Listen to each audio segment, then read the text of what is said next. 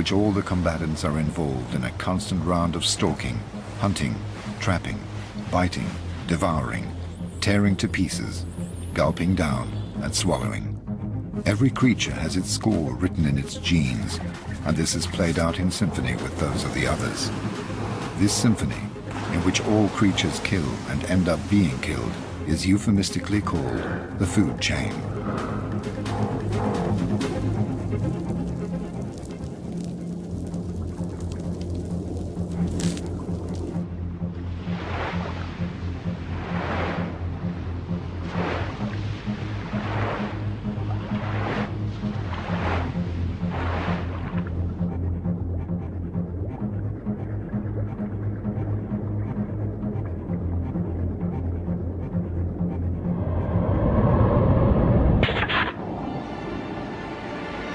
Pacific, around the islands of Micronesia, lie shipwrecks that are witness to a war between humans.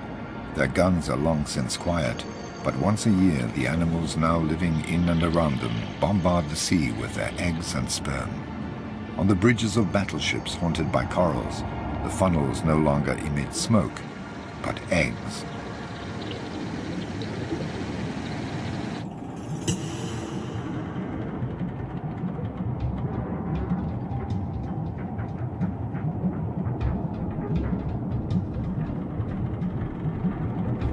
Crown of thorns starfish, sea urchins and giant clams, lodged like so many squatters on the wrecks, explode around the time of the spring full moon and release billions of sexual cells which will reproduce when they happen to meet.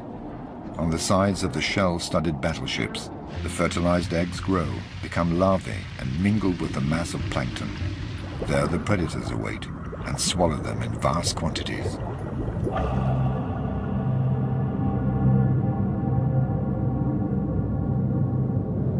The largest of these has managed to move its 10-ton bulk here for this annual rendezvous, which promises to provide it with an orgy of plankton. This 18-meter giant, the whale shark, has come with its escort.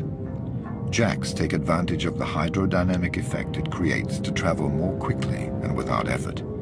They adhere to its lips in the hope of gleaning a few scraps of food.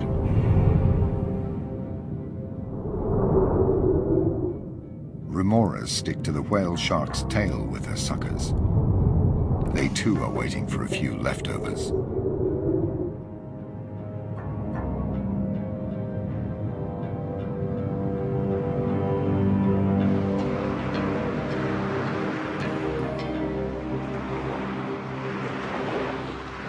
The whale shark is joined by other giants, their perception of the electromagnetic field and their age-old instinct has enabled them to make this annual journey at the same time every year.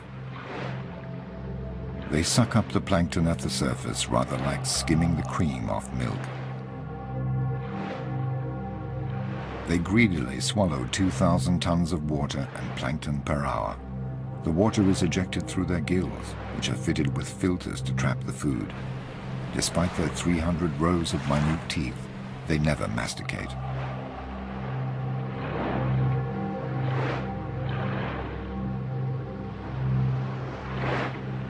Their horizontal swimming enables them to feed continuously while clearing their filters of the excess of plankton.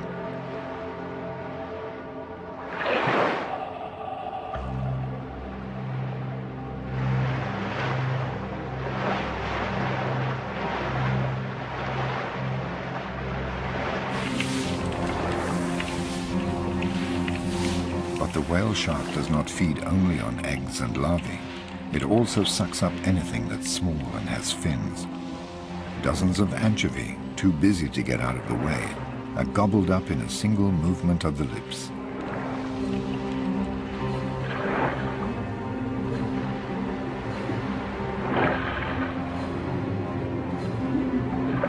When the school of anchovy takes flight, the shark heaves itself back round towards it the anchovy then seek to protect themselves by twirling around its body.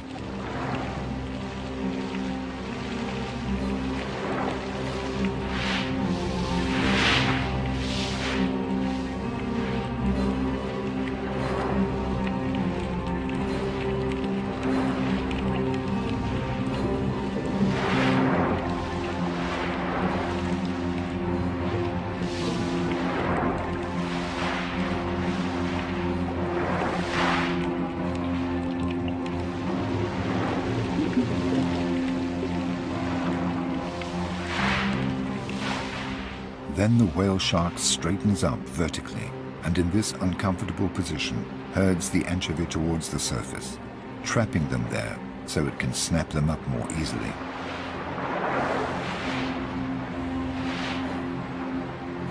You are never alone in the ocean.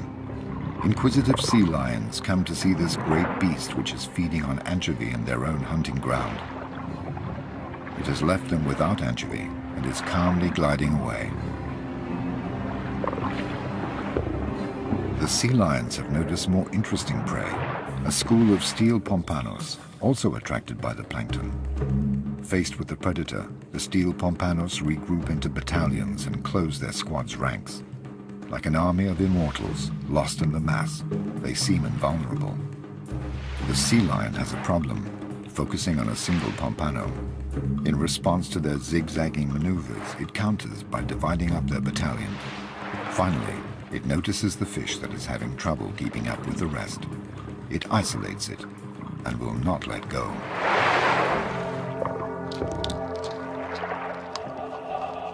The sea lion, which has no hands to seize its prey or suitable teeth to tear it to pieces, breaks it up by hitting it against the surface of the water.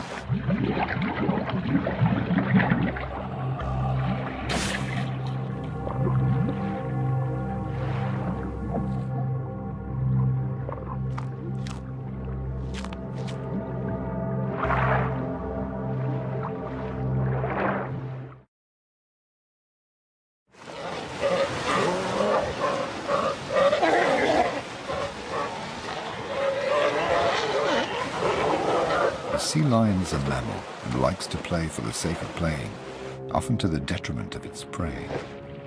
The turtle is a difficult prey since it has so many scales and a razor-sharp beak, so the sea lions tease it half-heartedly for a bit of fun.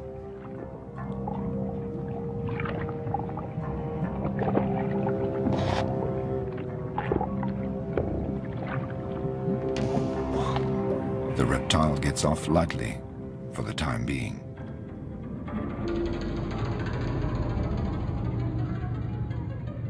Fish also abuse the slippery surface of its shell to remove their parasites.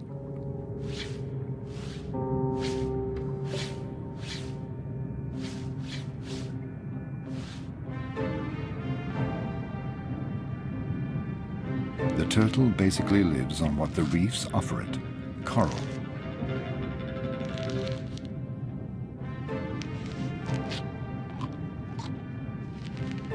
While it cleans the coral, the fish clean its shell.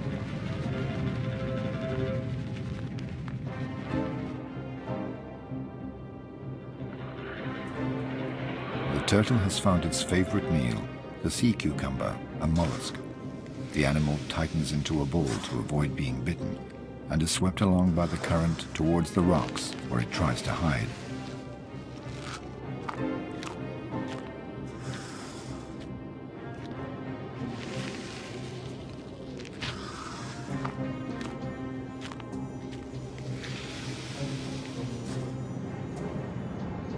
Turtle can migrate thousands of kilometers to feed or to find a mate. Coupling occurs on the surface. It's a procedure that takes time, and the turtles need to breathe.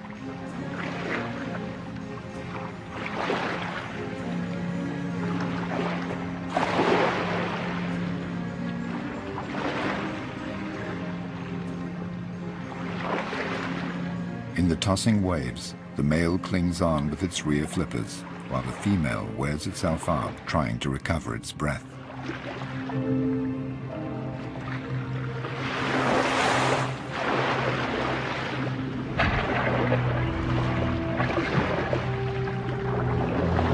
The female will cross an entire ocean to lay her eggs. She will face a thousand predators and will often have to brake using her four flippers in order to avoid them but she will always end her life in the mouths of scavenging sharks. At one of the summits of this food pyramid, one solitary predator reigns supreme, the tiger shark, king of the warm waters. Always on the lookout for food, the six-meter-long predator glides along in coastal waters near oceanic islands.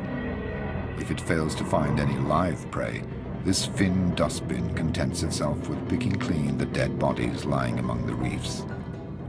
The tiger shark, a veritable hyena of the seas, is a great eater, but none too fussy about what it eats.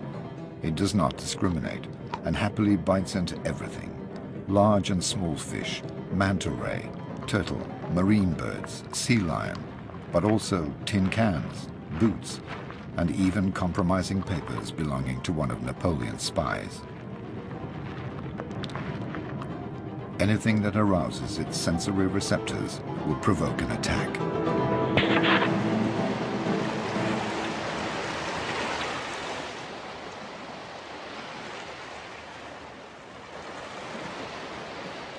The November full moon shines over the Galapagos Islands. Darwin's Island is the gateway to the infinite expanse of the Pacific. 10,000 kilometers of blue, of marine currents, storms, and deadly traps. Every year, during the full moon of November and December, numerous species of fish come together and initiate their love ritual, which ends in sexual debauchery. Male jacks, attracted by the smell of the pheromones released by the females, set about pursuing them all against one. The males give up their pursuit as soon as the female has laid her eggs, and they have had the chance to fertilize them. Billions of oocytes turn the sea cloudy and attract another giant predator, the manta ray. This cousin of the shark, supported on wings spanning six meters, swims through kilometers of schools of pelagic fish busy reproducing.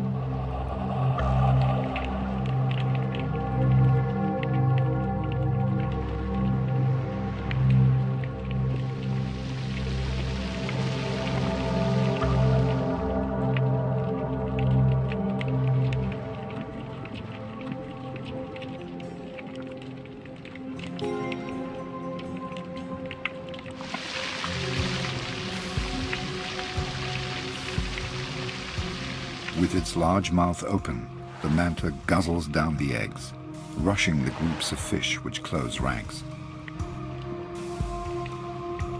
Side by side, the rays comb the sea, swallowing thousands of lives.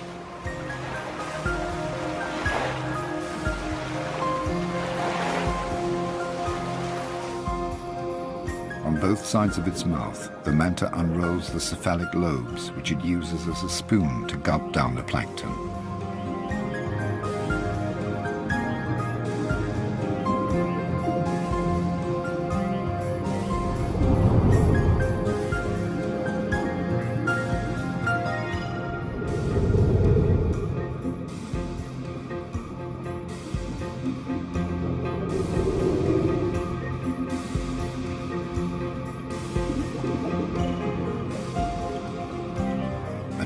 By their suckers to the manta's back and belly, the remoras feed on food scraps and parasites. And on the remora's back, other parasitic fish bustle about and clean them in turn. Alongside the food pyramid, there is a cleaning pyramid.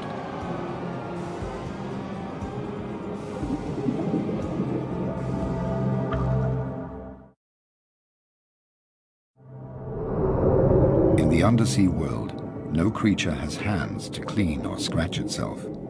So prey and predator spend a lot of time rendering such services to each other. Its meal over, the manta ray has just come to rest over a reef, always the same one, and offers its gaping mouth to the scavenging wrasse, which thoroughly rid it of its parasites.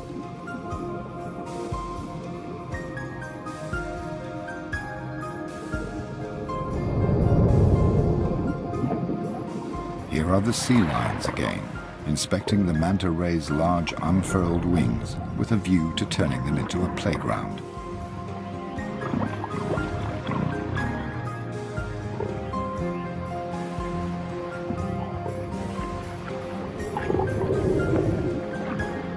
This ballet between mammal and shark has a different meaning for each.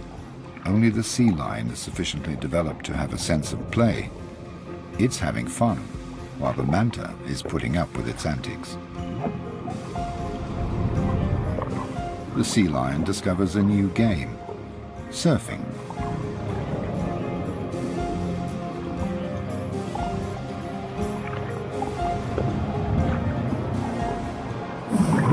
In the vast blue expanse, nothing is wasted.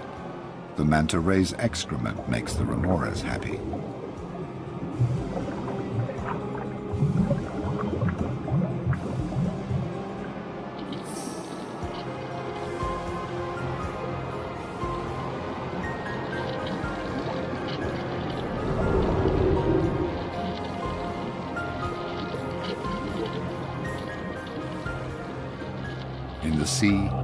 Everything is recyclable and recycled. The manta ray scraps are patiently absorbed by the mollusk.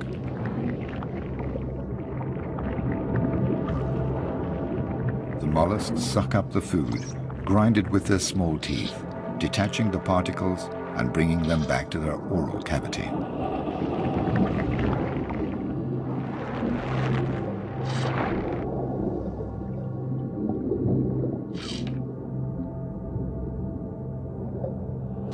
Living organisms shut away among the coral, capture, catch, trap and feed on minute particles.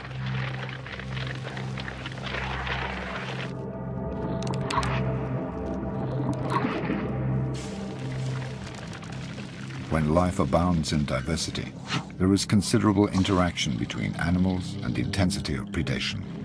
Over the millennia, the animals invent new strategies for survival or capture. Camouflage is the most sophisticated form, where the creature attempts to blend in with the surroundings on account of its appearance, movements, or color.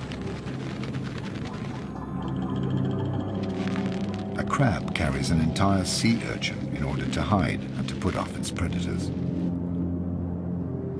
Other monsters lie in wait in the sand and only keep one eye above the surface.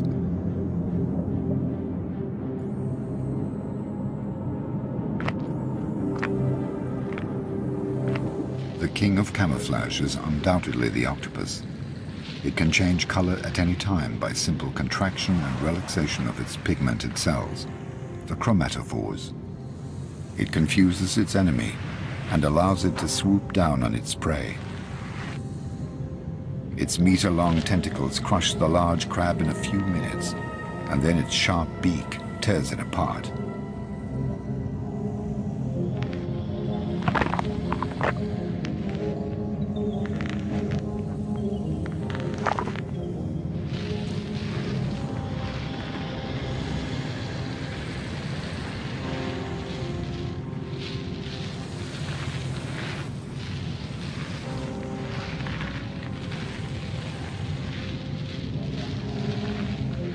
Octopus also has enemies, and they know when to surprise it. Today, this female octopus is building her nest to lay her eggs.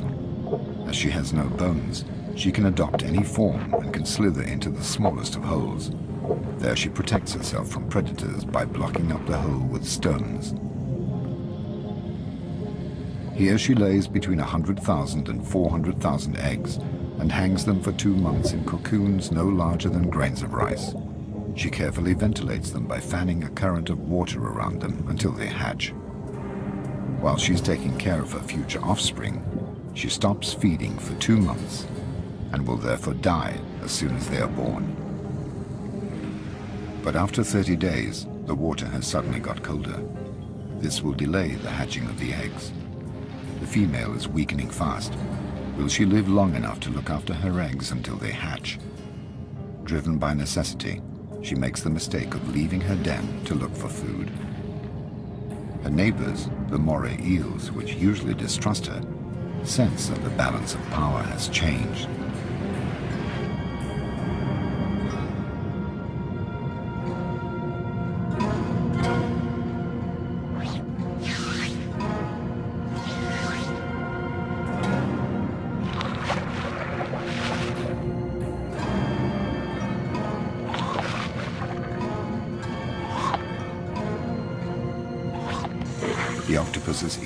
Not succeed in dissuading its predators.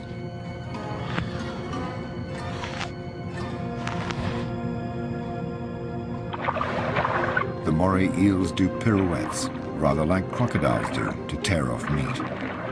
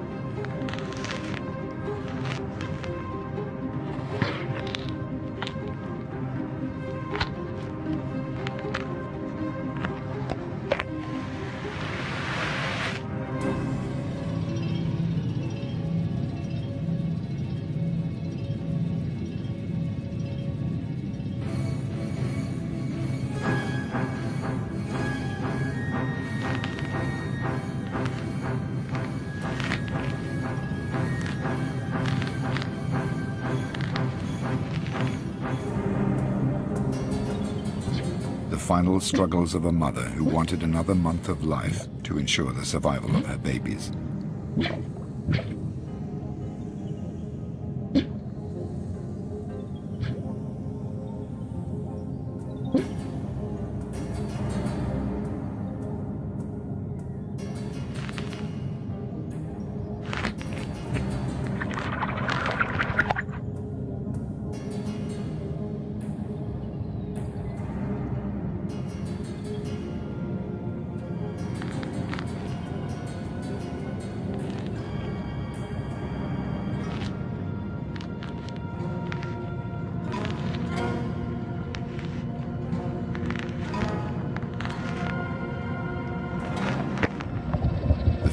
Dies in one last cloud of ink.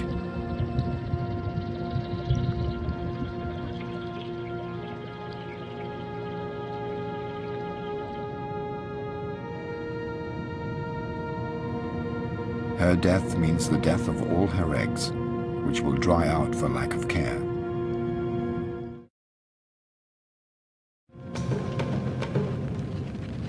It's the time of the truth, a time when the prey cleans the teeth of the predator, who badly needs it.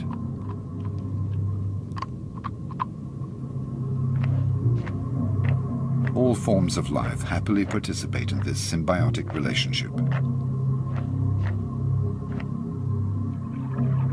No nook or cranny is spared, even the most risky.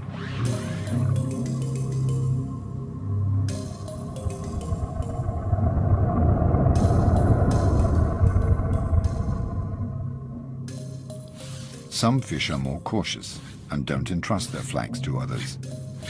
They rid themselves of their parasites using a stone until it becomes too smooth. Or they use the coarse skin of the coral shark for their grooming.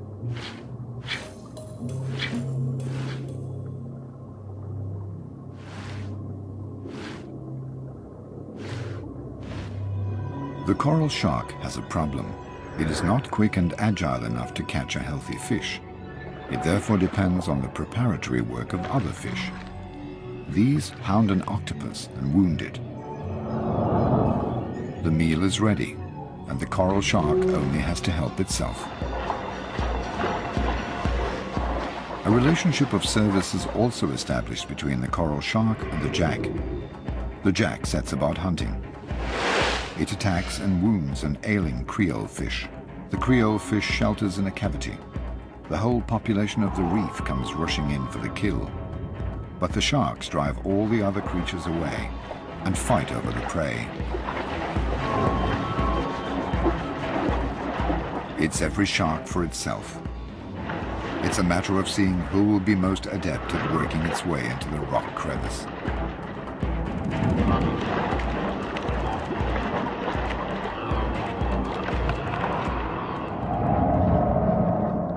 And then it's siesta time, some lying on top of others like lions, but minus the affection. Leopard rays hunt under the very eyes of their predators, but they have nothing to fear from the hammerhead sharks as long as they're not diseased or wounded. They scan the floor with their nose, which is designed to detect crabs, shells, and mollusks. They dig to unearth them and take in sand at the same time.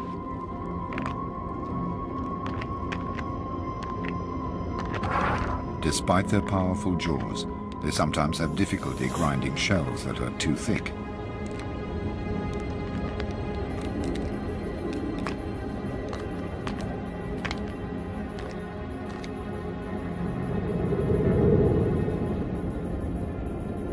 And soon the schools of leopard rays will cover the sea like so many stars carpeting the sky. It's time for the killer whale to try its luck. This mammal reigns supreme at another summit of the food pyramid. It's the nightmare of the rays, because unlike the sharks which only hunt at night, it's active day and night and needs to feed more often than sharks. It harasses the rays until they become exhausted and zeroes in on the weakest.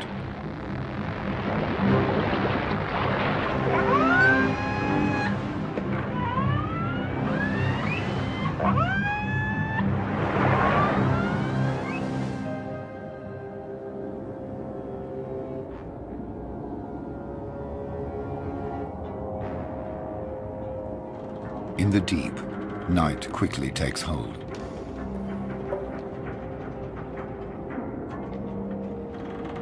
Among the debris of naval battles, another battle is played out.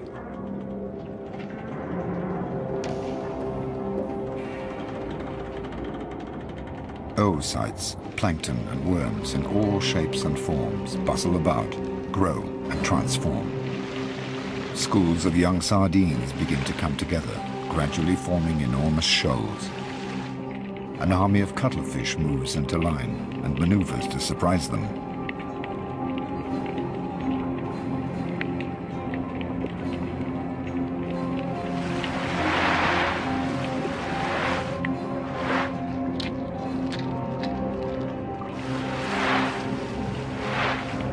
The cuttlefish has two tentacles and eight arms.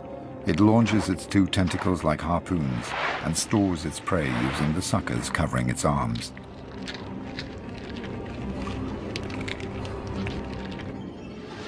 Sharks are also present. At night, the sea belongs to them. They're on the prowl to satisfy their appetite. All their prey know it, and they all lie low.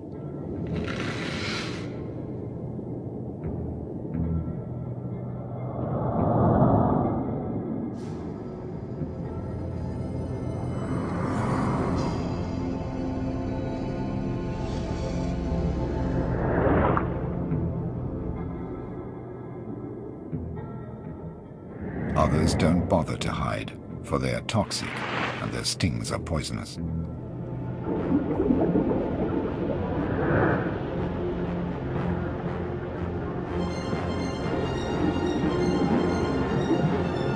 The sharks spread fear, track down hiding places, and hound those fish that panic.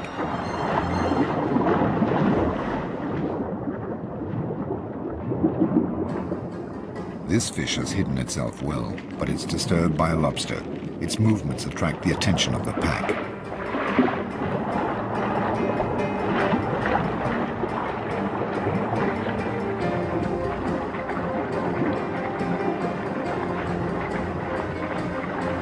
The red fish ends up being caught. A parrotfish looks for a refuge. Will a mere crevice be enough to protect it from the relentless sharks?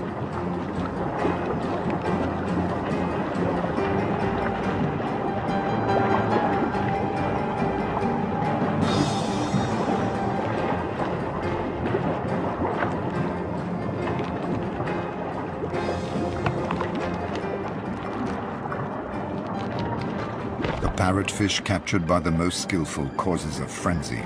The sharks lose all their inhibitions and turn on each other.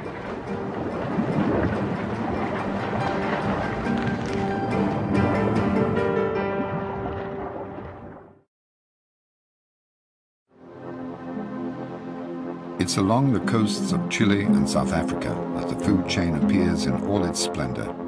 Cold currents trapped between the coasts and the continental shelf travel northwards where they mix with the warm waters. This cold current is rich in plankton and attracts schools of pelagic fish, such as sardines, which use it as their staple diet. Enormous shoals of sardines are formed, covering several hundred kilometers, and are driven by the cold current surging up the coasts toward the warm waters where they will breed.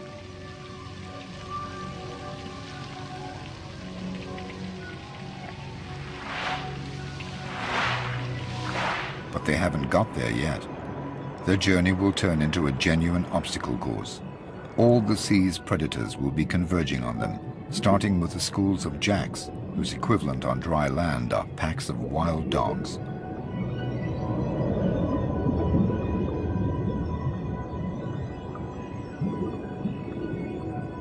Jacks are very ambitious when they're hungry. Their upper jaw contains an extra row of formidable canine teeth. They depend on their visual acuity, and so can only hunt during the day. The jacks start by forming a wall on one side, then a second wall on the other side. They channel the long ribbon of sardines, pushing the shoal to make it more compact. Then they divide it into sections.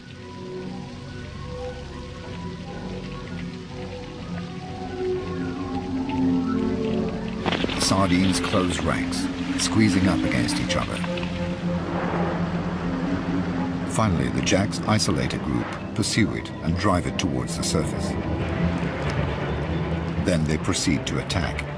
The first of the many feeding frenzies that the sardines will suffer is beginning.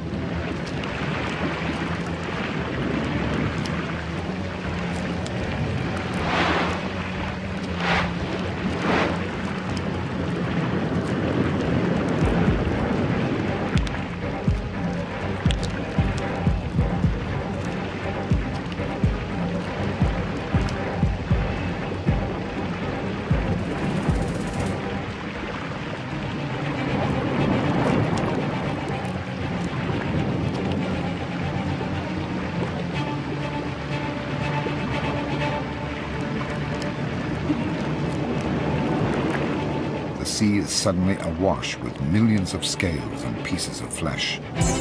These attract manta rays, which devour the particles.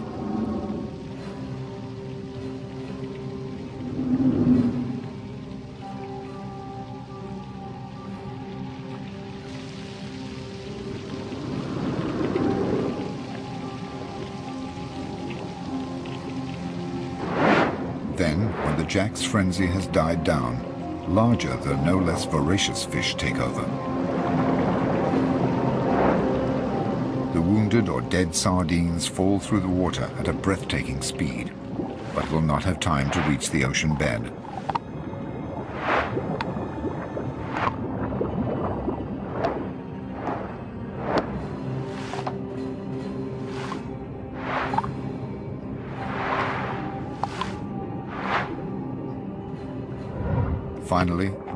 Black-tipped sharks, as always, gather up the remains of the work of others.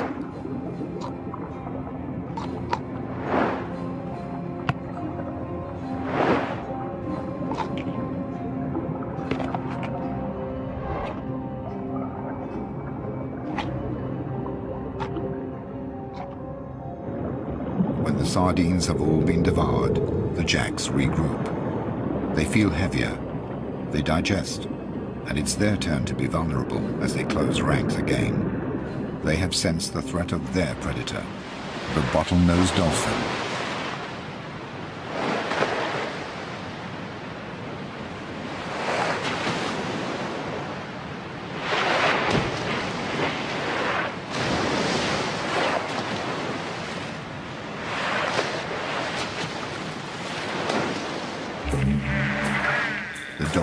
Guided by sound.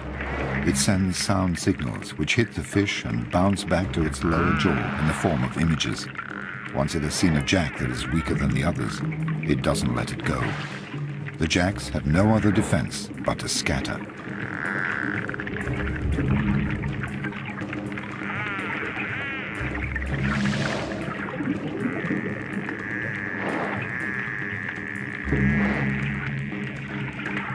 Dolphin can simultaneously snatch and swallow several fish per minute in a single movement.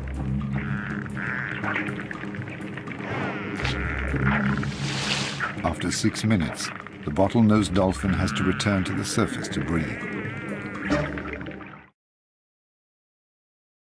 The enormous school of sardines continues its progress northwards. All the sardines are the same size and the same age. The ones at the front are better fed and can get oxygen more effectively, but they tire quickly and they're in the front line and so more likely to be eaten by predators. And these predators, common dolphins, have come from far away, attracted by the high-frequency sounds emitted by the school of sardines. Dolphins have a very keen sense of hearing when they're hungry. Some 10,000 of them cross the dark and cold waters to pounce on a billion sardines.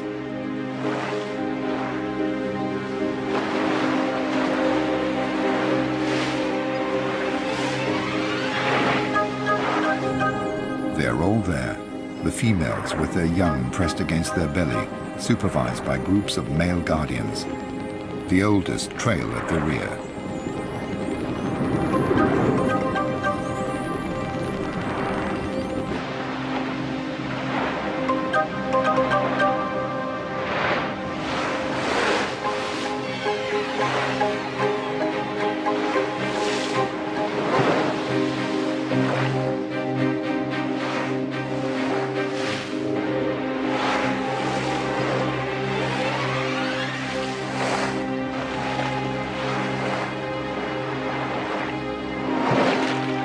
They all have a voracious appetite. They communicate their enthusiasm and fine-tune their hunting strategy. The well-organized dolphins dive under the shoal of sardines and push it up towards the surface. All they have to do now is open their mouths and help themselves.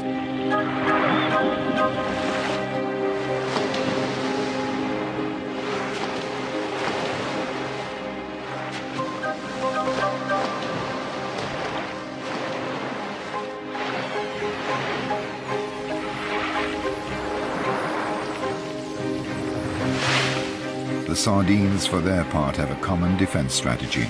Pirouette in complicated figures to disconcert the attackers and ensure that they always have another sardine at their side. Sharks have a keen sense of smell when they're hungry.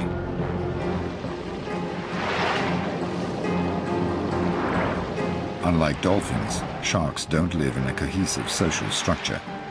It's every shark for itself.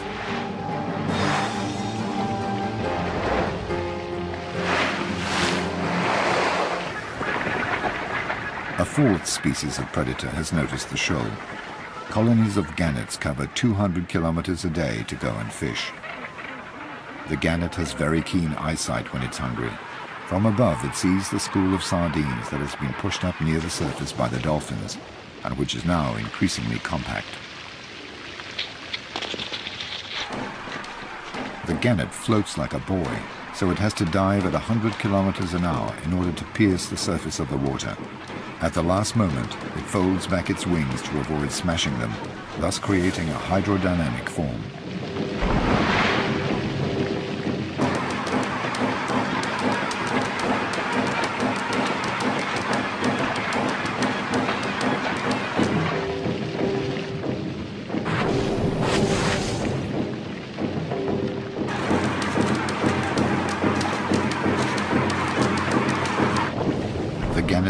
Dive in successive waves, up to 30 meters deep. Sometimes the shoal manages to place itself beyond the reach of the birds' beaks, and the gannets tire.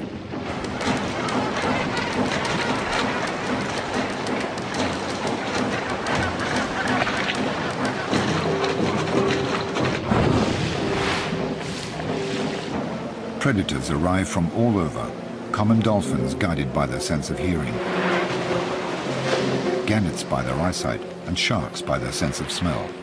An informal alliance of predators formed for a feeding frenzy.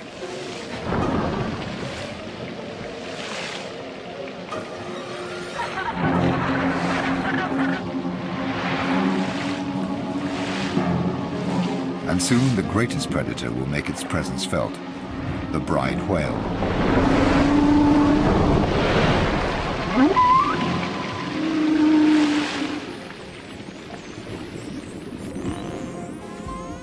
Party is over for today, and the common dolphins return to their polar waters.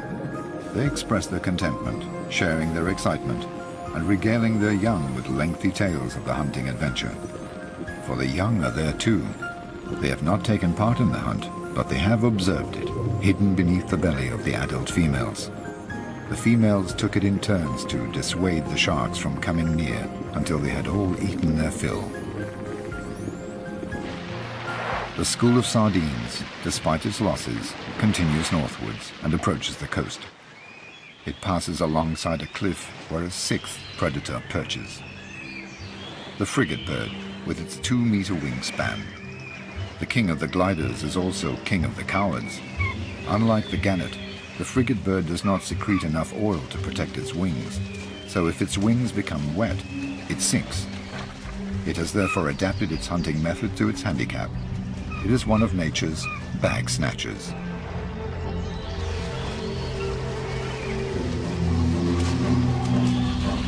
Under the water, the sharks jam an isolated school of sardines up against the surface to finish it off.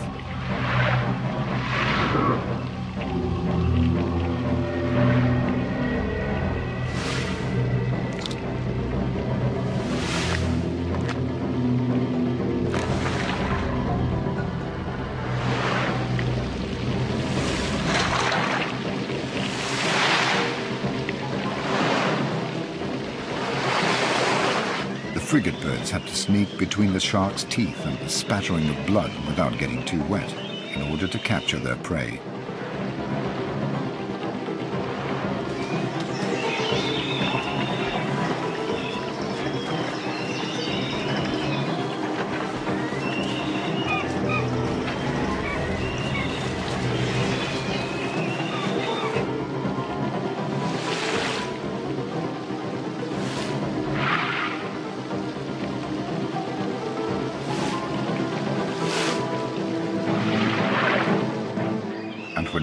Frigate birds captures a sardine, all the others hurl themselves onto it to get their share. Finally, what remains of the school of sardines arrives in the warm waters of the north to breed there. For many of the older sardines that have already made the journey often, this will be the last one, because the food chain is dominated by one supreme, invisible predator, Homo sapiens.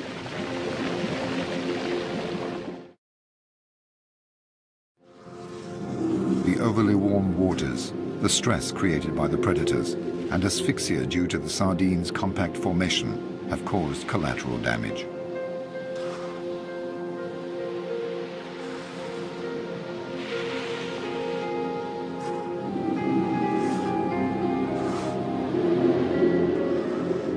Carried along by the current, they will not go far because refuse collectors are following their tracks.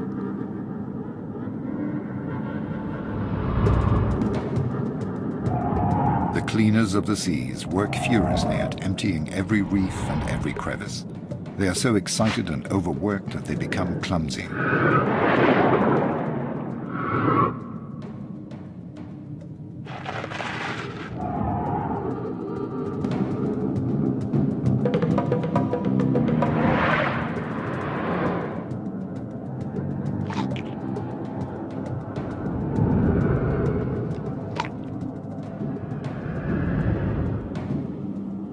Everything is cleaned. Thanks to the sharks, the sea will always be clean. This one-month frenzy comes to an end when the ferocious predator turns into a docile patient, imploring a wrasse to clean its teeth.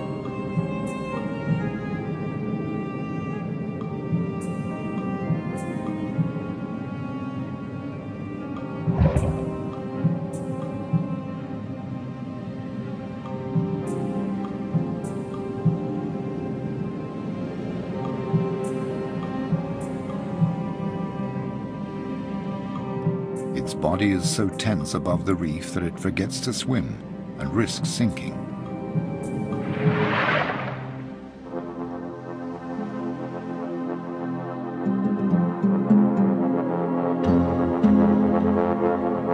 The southernmost tip of Africa, at the Cape of Good Hope, where the warm waters of the Indian Ocean meet the cold waters of the Atlantic, is where we find the largest of the predators, the great white shark.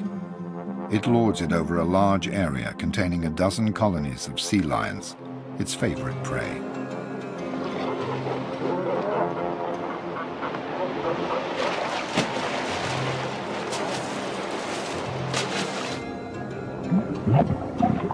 The sea lions frolic about in the kelp, which they take the opportunity to gulp down in order to fill up with vitamins.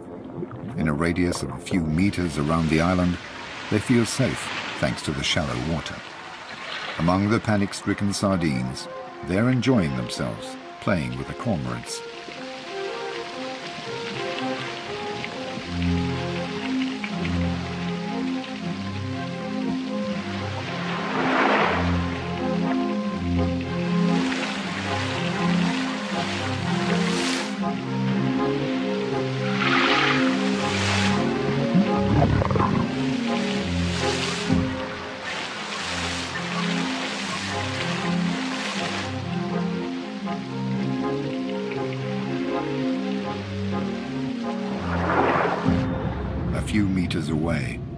White sharks are patrolling, waiting for a sea lion to get carried away with the game and make a mistake.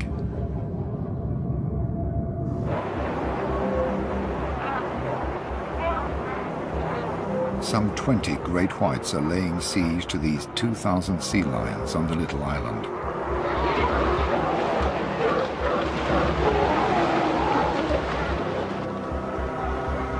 The island is a fortress surrounded by a circle of death.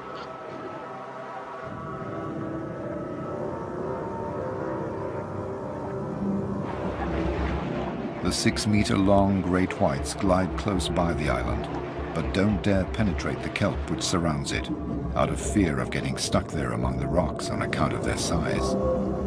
This predator and its prey have swum face to face for thousands of years.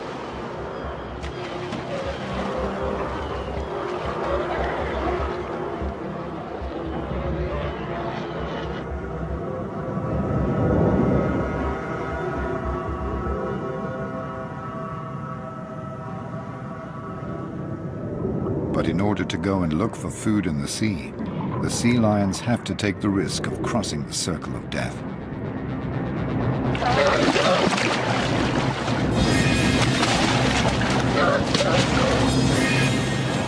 The sea lion is knocked about, but as happens every so often, it manages to escape thanks to its agility.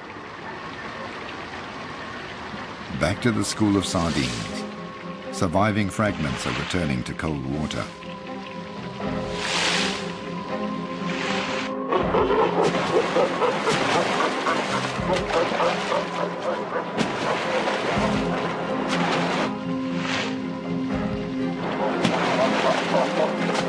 Bronze sharks, natural predators of the sea lions, join them but don't pay them any attention. But the sea lions make sure they keep behind the sharks, even nibbling at their tails by way of teasing. Now they have to cross the circle of death again to get back to their island. It's evening, the time when birds migrate and the great white shark is at its most active.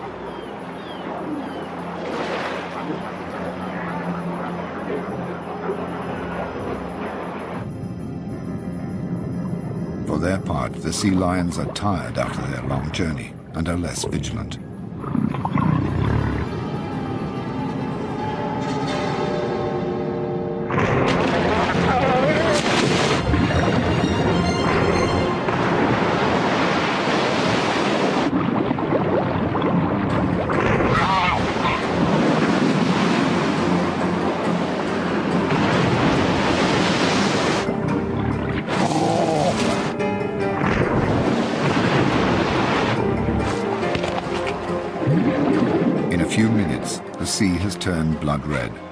Great white sharks, the summit of the food pyramid, have killed the weakest, the most absent-minded, and the most hesitant.